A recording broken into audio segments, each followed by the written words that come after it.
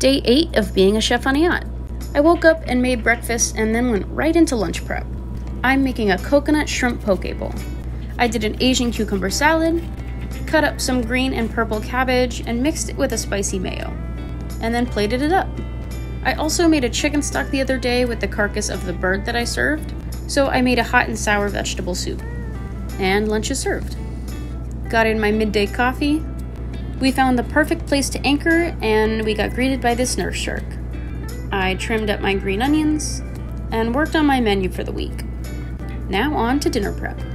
I'm making a tzatziki sauce with lots of garlic and fresh herbs. It's gonna pair so well with the rack of lamb that I'm serving. Just look at this lamb.